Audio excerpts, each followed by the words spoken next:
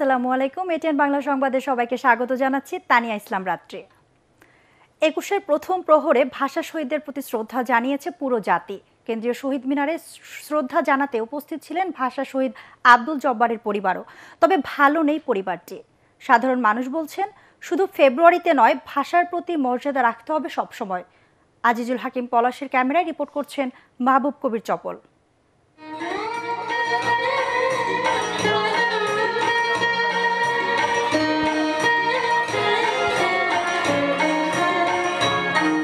একুশের প্রথম প্রহরে কেন্দ্রীয় শহীদ মিনারে হাজারো মানুষের সাথে শ্রদ্ধা জানাতে আসেন ভাষা শহীদ আব্দুল জব্বারের পরিবারও। একজন শহীদ পরিবারের সদস্য হয়ে গর্বিত তারা। তবে আছে আক্ষেপও। আমার দাদা যে নিজের বুকের রক্ত দিয়ে বাংলা ভাষাটা দিয়ে গেছেন, সেজন্য তাদের কাছে আমরা কৃতজ্ঞ। ভাষা শহীদদের প্রতি আমরা কৃতজ্ঞ। সবাই স্মার্টনেস দেখানোর জন্য বাংলা একটা মিক্স ভাষায় কথা বলতেছে, বাংলা অন্যভাবে বলতেছে। এটা আমাদের দেখলে খুবই কষ্ট হয়। ফেব্রুয়ারি মাস আসলেই ভাষা শহীদদের প্রতি একটু শ্রদ্ধা জানানো হয় বা খোঁজখবর করা হয়। অন্য সময় কিন্তু তেমন একটা কেউ খোঁজখবর করে না। আমার বাবার মৃত্যুর পর থেকে মুক্তিযোদ্ধার ভাতা এটি বন্ধ হয়ে গেছে। আমি চাইব সরকারের পক্ষ থেকে জানি ভাতাটা আবার চালু হোক।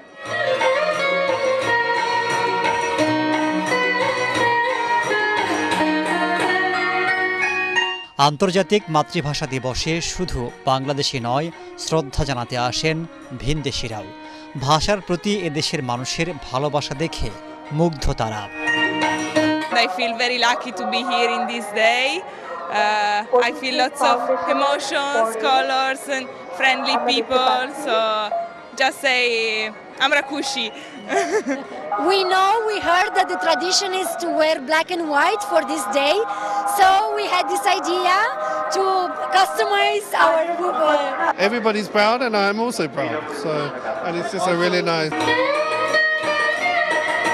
ভাষাকে বলা হয় চিন্তার পোশাক ভাষাহীন মানুষ যেমন মনের কথা বলতে পারে না তেমনি পরাধীনতার শিকল থেকে বের হতে পারে না ভাষাহীন জাতি সেই পরিকল্পনায় উর্দুকে চাপিয়ে দিতে চেয়েছিল পাকিস্তানিরা। কিন্তু উনিশশো সালের একুশে ফেব্রুয়ারি সালাম, জব্বার, রফিক সহ ছাত্র জনতা বুকের তাজা রক্ত দিয়ে তাদের সেই ষড়যন্ত্র নস্বাত করেছেন।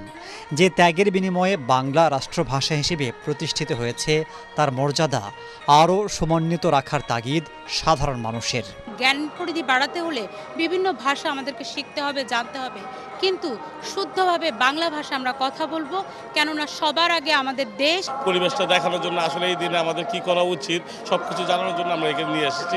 বর্তমানে বিশ্বের বিভিন্ন দেশের প্রায় আটাশ কোটি মানুষ কথা বলছেন বাংলায়। বিশ্বে এখন সাত হাজারের বেশি ভাষায় মানুষ কথা বলেন। কিন্তু মাতৃভাষার জন্য জীবন দেওয়ার নজির খুব একটা নেই। ভাষার প্রতি বাংলাদেশের মানুষের ভালোবাসা জেনে গেছে গোটা বিশ্ব। তাই তো একুশে ফেব্রুয়ারি পেয়েছে আন্তর্জাতিক মাতৃভাষা দিবসের স্বীকৃতি। মাহবুব কবির চপল এটিএন বাংলা, কেন্দ্রীয় শহীদ মিনার, ঢাকা। মহান শহীদ দিবস ও আন্তর্জাতিক মাতৃভাষা দিবসের প্রথম প্রহরে কেন্দ্রীয় শহীদ মিনারে ভাষা শহীদদের প্রতি শ্রদ্ধা জানান রাষ্ট্রপতি আব্দুল হামিদ এবং প্রধানমন্ত্রী শেখ হাসিনা। রাষ্ট্রীয় পর্ব শেষে ভাষার জন্য প্রাণ দেওয়া সৈনিকদের স্মরণ করে পুরো জাতি। এদিকে শহীদদের স্মৃতির মিনার থেকে বাংলাকে জাতিসংঘের দাপ্তরিক ভাষার স্বীকৃতি দেওয়ার আবারও দাবি জানিয়েছে সরকার। বিস্তারিত মনিউর রহমানের রিপোর্টে।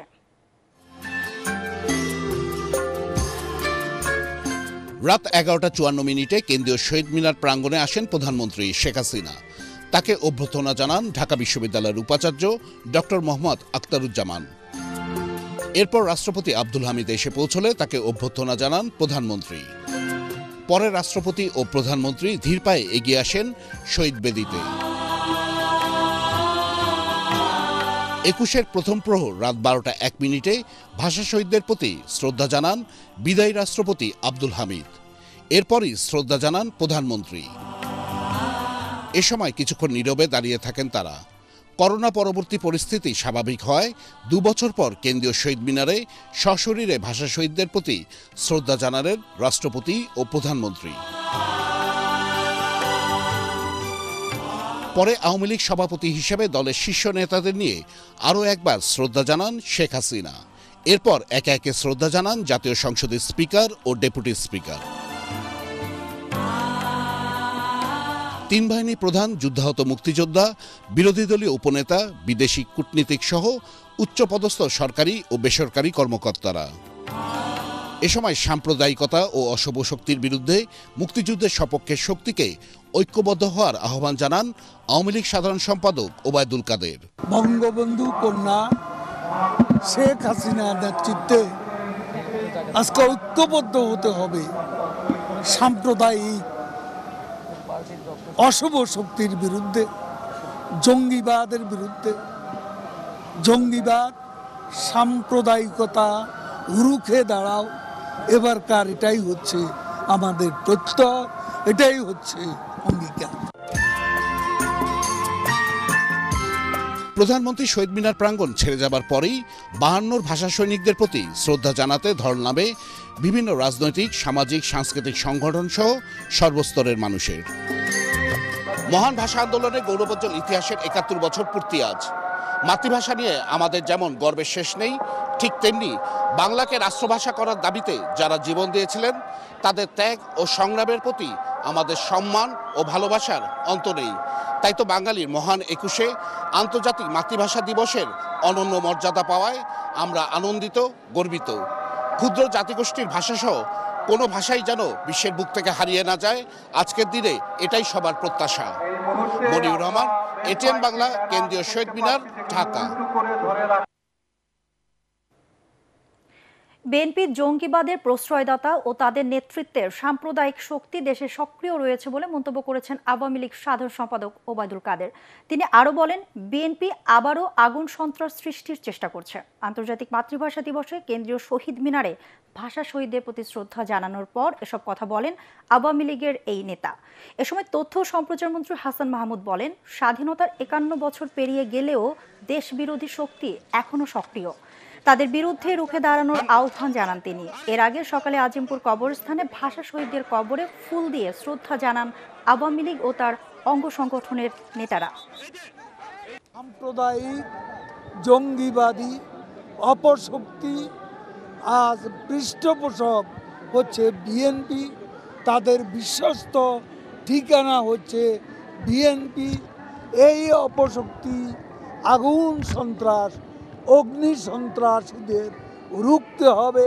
জামাত ইসলামী স্বাধীনতা বিরোধীকে নিয়ে বিএনপি রাজনীতি করে। এটি হচ্ছে বাস্তবতা। এবং আজকে দুঃখজনক হলো সত্য, আমাদের কৃষ্টি সংস্কৃতির উপর যে আঘাত এসেছে বারে বারে, সেই গোষ্ঠীর প্রধান পৃষ্ঠপোষক হচ্ছে বিএনপি এবং তার নেতৃত্ব। এদিকে অমর একুশে ও আন্তর্জাতিক মাতৃভাষা দিবসের প্রথম প্রহরে ফুলেল শ্রদ্ধায় ভরে ওঠে সারা দেশের শহীদ মিনার। স্থানীয় প্রশাসন, রাজনৈতিক দল ও সামাজিক, সাংস্কৃতিক সংগঠনের কর্মী সহ বিভিন্ন শ্রেণি পেশার মানুষ এই শ্রদ্ধা নিবেদন করেন। চট্টগ্রামের নিউ মার্কেট এলাকার অস্থায়ী শহীদ মিনারে প্রথম প্রহরে বেজে ওঠে বিউগলের করুণ সুর। এ সময় ভাষা শহীদদের প্রতি শ্রদ্ধা জানান city mayor M Rezaul Karim Chowdhury. পরে সর্বস্তরের মানুষের শ্রদ্ধা নিবেদনের জন্য উন্মুক্ত করে দেওয়া হয়। বরিশালে একুশের প্রথম প্রহরে বৃষ্টি শুরু হলেও এসব উপেক্ষা করে শহীদ মিনারমুখী ছিল মানুষের ঢল। বৃষ্টিতে ভিজেও নানা শ্রেণি পেশার মানুষ ফুল দিয়ে হাজির হন শহীদ মিনার প্রাঙ্গণে। এ সময় ফুলে ফুলে ভরে ওঠে শহীদ মিনার। রংপুরের রাত বারোটা এক মিনিটে ভাষা শহীদদের প্রতি প্রথম শ্রদ্ধা জানান বিভাগীয় কমিশনার সাবরুল ইসলাম। এরপর সিটি মেয়র, জেলা প্রশাসন, রাজনৈতিক ও সাংস্কৃতিক সংগঠনের কর্মী সহ সর্বস্তরের মানুষ শ্রদ্ধা নিবেদন করেন। খুলনা কেন্দ্রীয় শহীদ মিনারে সিটি মেয়র, মুক্তিযোদ্ধা সংসদ, জেলা প্রশাসন, বিভিন্ন রাজনৈতিক ও সামাজিক সংগঠনের পক্ষ থেকে শ্রদ্ধা জানানো হয়। এছাড়া গোপালগঞ্জ, সিলেট, নারায়ণগঞ্জ, ব্রাহ্মণবাড়িয়া ও রাঙ্গামাটি সহ সারা দেশে যথাযোগ্য মর্যাদায় অমর একুশের অনুষ্ঠান উদযাপিত হওয়ার খবর পাওয়া গেছে।